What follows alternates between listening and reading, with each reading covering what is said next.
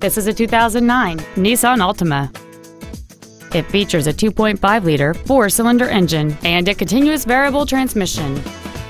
Its top features include heater vents for rear-seated passengers, a split folding rear seat, cruise control, a CD player, a multi-link rear suspension, a security system, a passenger side vanity mirror, a low tire pressure indicator, a rear window defroster, and this vehicle has fewer than 51,000 miles on the odometer.